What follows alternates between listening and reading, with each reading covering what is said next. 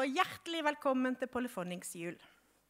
Eh, Det er en stor glede for, eh, for oss å synge for dere her i ettermiddag. Og koret har øvd mye i det siste. Eh, Og dere som har fulgt oss noen år, vil både se og høre at vi hele tiden utfordrer oss sjøl musikalsk. Vårt åpningsnummer i dag var 'Walking in the Air' med Linda som solist.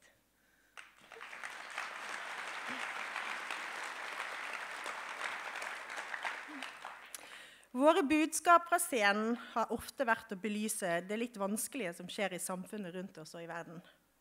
I dag ønsker vi å ta en pause fra det, men vi kommer ikke utenom å kommentere 'Carol of the Bells', som vi nettopp sang, som har vært på julerepertoaret vårt i årevis. Sangen er en ukrainsk folketone. Den 29. november kom denne oppfordringen. Kan vi ringe klokkene for Ukraina? Kan kulturlivet i Norge denne julen fremføre 'Carol of the Bells' som et kraftfullt musikalsk budskap om at vi ikke har glemt ukrainerne. Vinteren er nådesløs, og vi kan sende moralsk støtte. Klokkene midtvinters kan bringe håp og minne om at svalene eh, igjen vil bringe med seg våren, varme og bedre tider. Putin kan bombe infrastruktur, kulturen og stjele kunst, men aldri knekke den ukrainske sjelen som er så intenst til stede i denne enkle og slagferdige musikken.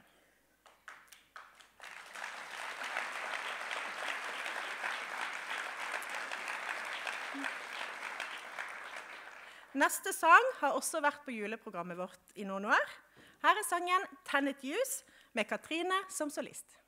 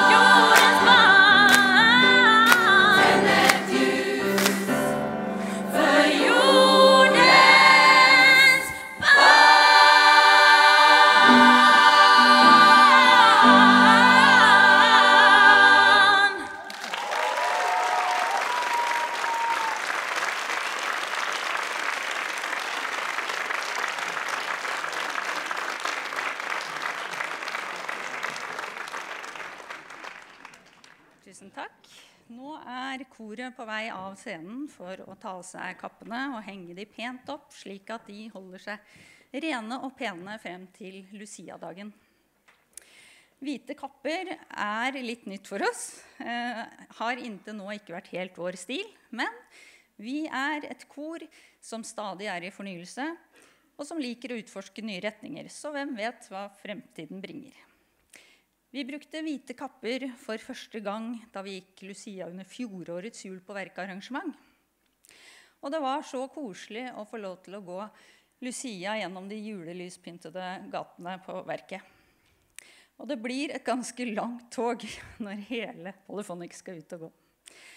Og jammen er vi ikke blitt bedt om å komme tilbake i år. Og det ble vi så glade for, for det var rett og slett en flott opplevelse. Så velkommen til Jul på verket om tre dager. Det er et stemningsfullt arrangement i magiske rammer. Når Lucia-dagen har kommet og gått, så nærmer vi oss julaften, julaften med stormskritt. Og det er på tide å finne fram glitteret og pynte både seg selv og huset. Gjøre de siste forberedelser med gaver og bakst. Og ønske de man treffer, en god jul. Den norske gruppen nummer fire har skrevet en sang om nettopp det. God jul igjen.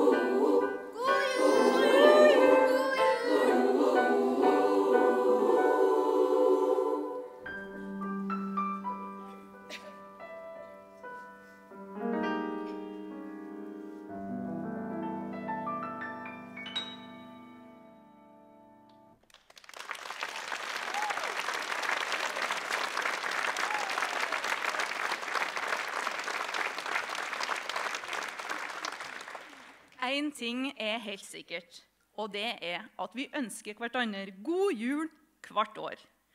Og vi oppfordrer hverandre til å være en god venn. Og gi av tida di til alle du er glad i. La gode dager for deg sjøl og dem som er viktige for deg. 2022 er frivillighetens år. Og vi var så heldige at vi fikk lov å være med og synge på Moss kommune sitt arrangement som markerte frivillighetsdagen 5.12. på Verket scene. Frivillighet det handler om å gi av tida si. De aller fleste blir veldig glad av å kunne dele noe som er viktig, sammen med andre. Å dele kan gjøre at du føler en viss mening med livet. Nå skal dere få høre 'Riv hjertet', og det er Martine som er solist.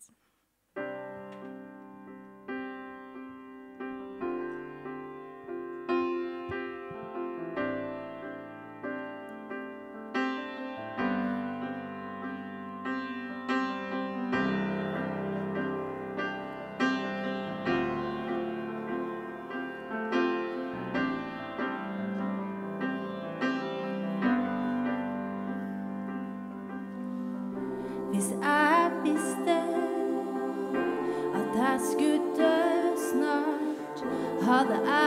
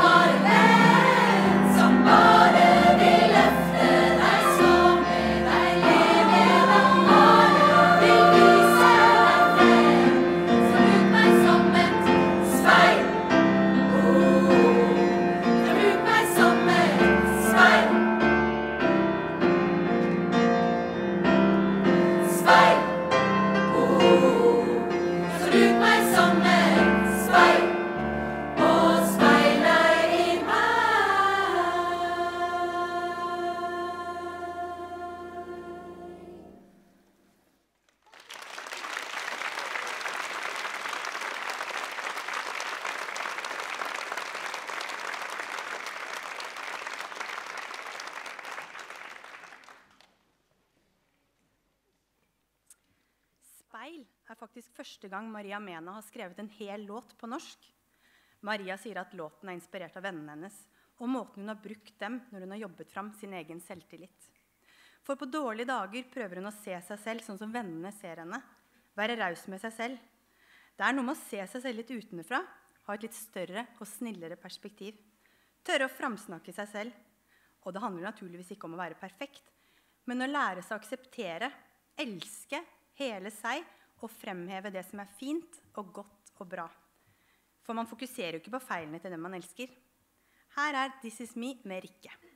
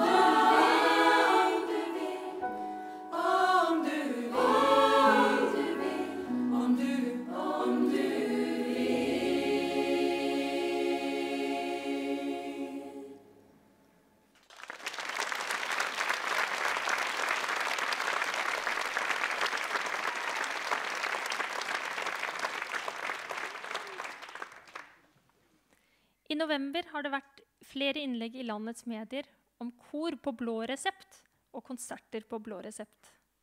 For det å synge i kor og gå på konsert som dere gjør i dag, er så godt for oss.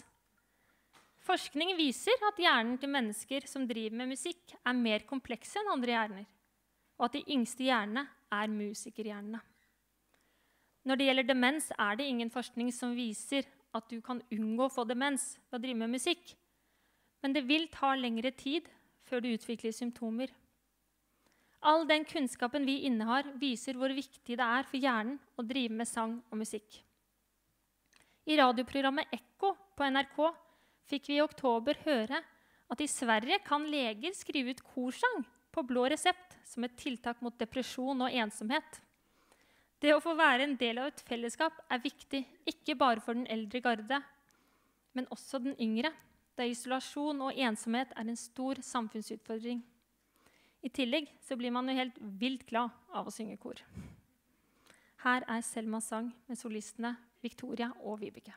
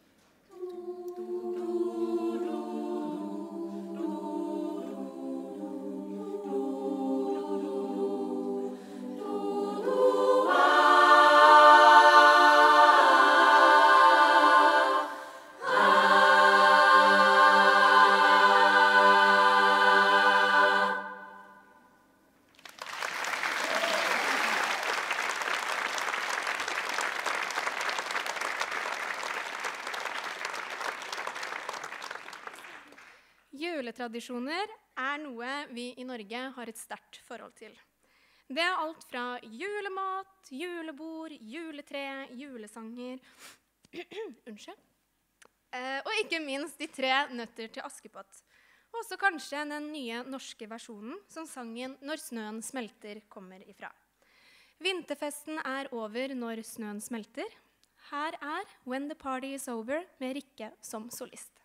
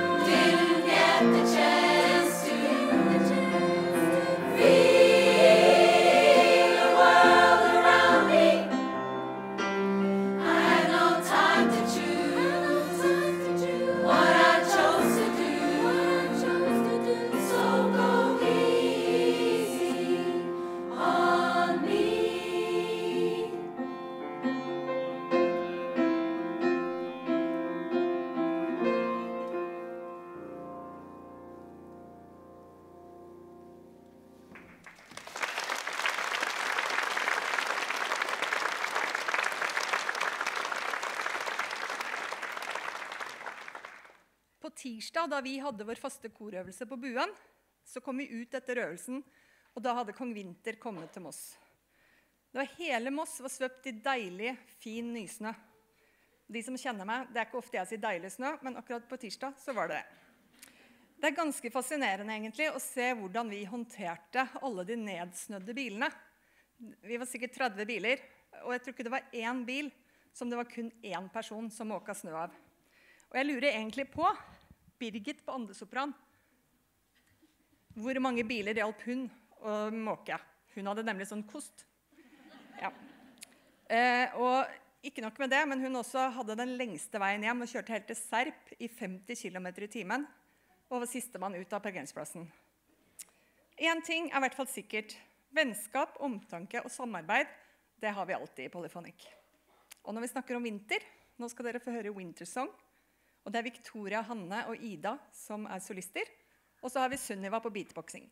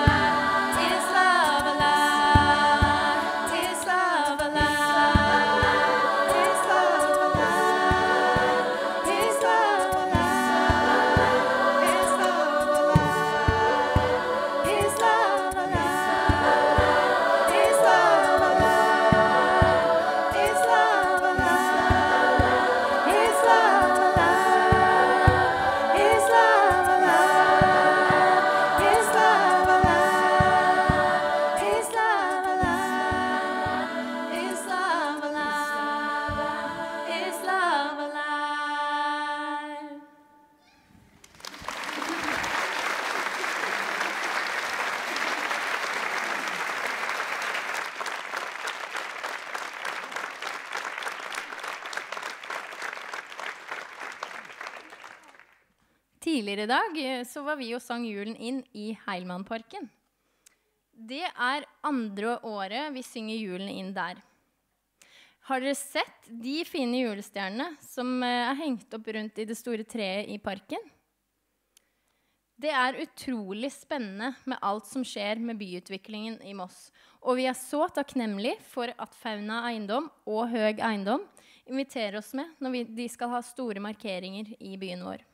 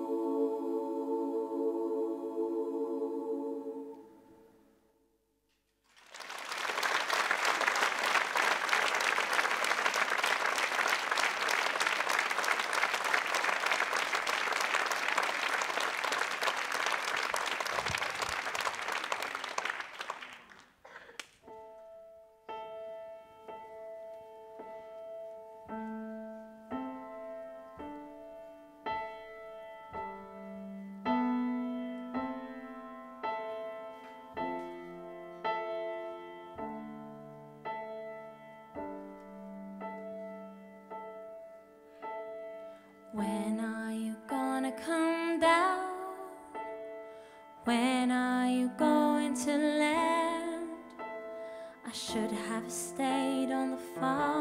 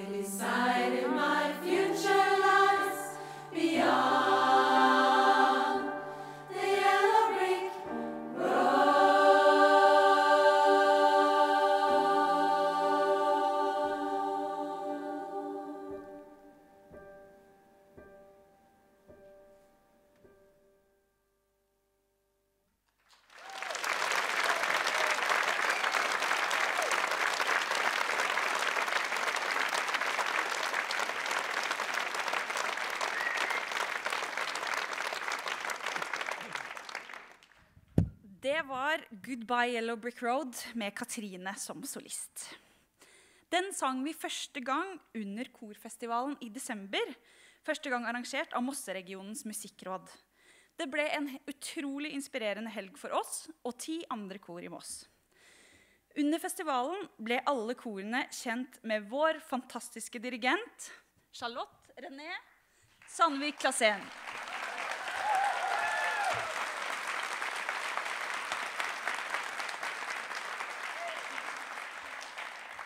Hun hadde ansvaret for å lære alle en felles festivalsang, noe alle lærte på ganske så kort tid, til stor overraskelse for mange av deltakerne. Vi liker å samarbeide med ekstremt dyktige og herlige folk. Derfor har vi på tangenter Terje Norum.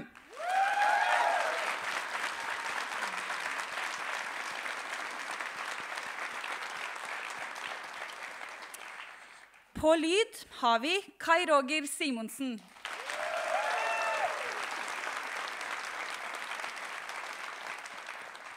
Og på lys har vi Magnus Boyle. Gi alle en stor applaus.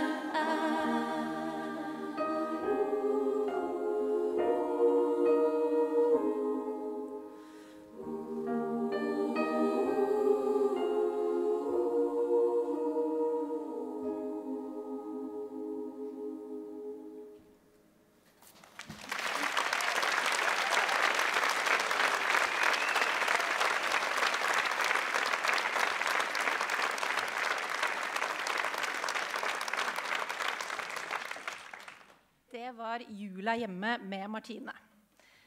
Det er ikke bare Astrid S og Eva Wiel Skram som lager vakre julesoundtrack til julefilmer og julekalendere. Det har også den danske rock- og popartisten Mats Lager gjort. Eh, neste sang vi skal synge, er 'I et stjerneregn av sne', som var kjenningsmelodi til en dansk julekalender. Vi har fått oversatt sangen til norsk, og vi håper at dere liker den like godt som vi gjør. Her får dere I et stjerneregn av sne, med Ida og Linda som solister.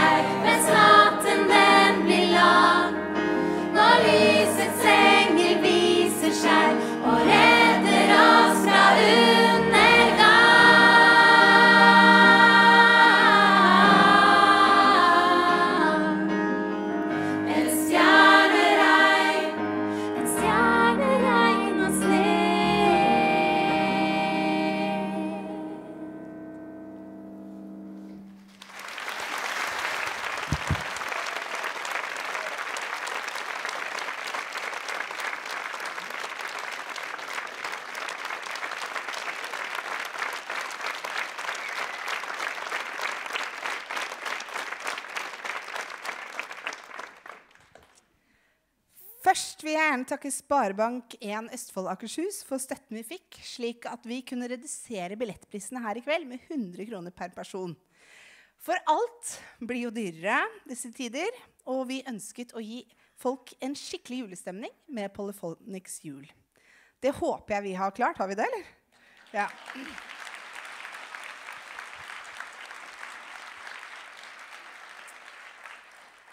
Så vil jeg gjerne takke alle dere som har kommet hit i dag og latt oss få lov å underholde dere litt i en travel førjulstid. Jeg vil takke alle de som har bidratt med sponsing eller hjelp på en eller annen måte, slik at konserten har blitt som den har blitt. I tillegg til sponsorene på baksiden av programmet har Plantasjen sponset oss med dette fine treet. Det må til. Et tre måtte til. Og ikke minst så må jeg takke alle de fantastiske damene som står på scenen her, som jeg har fått synge med hver tirsdag. Tusen, tusen takk. Gi dem en stor applaus.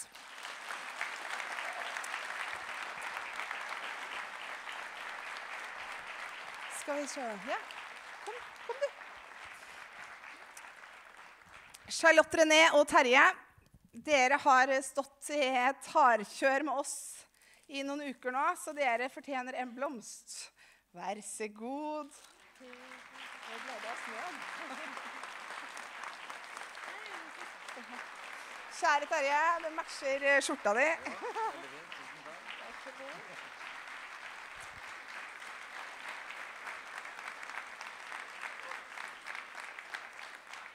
Til slutt vil vi i Polyphonic ønske dere alle en riktig god jul.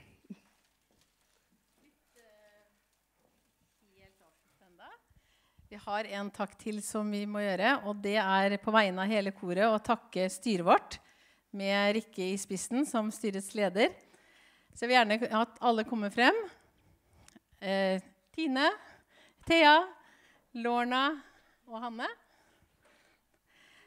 Det at eh, vi får til en sånn konsert, det gjør seg ikke uten et fantastisk styre. Dere er helt enestående, og vi er så glad for å ha dere. Både i dag og hver eneste dag som dere lager til for oss. Tusen hjertelig takk. Dere fortjener en blomst.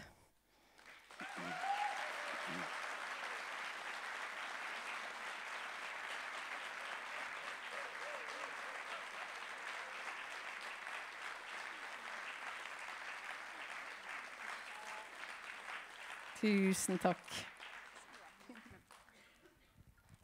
Yes. Da er det siste nummer. Ja, nå er det ikke på tide at det skal snø litt.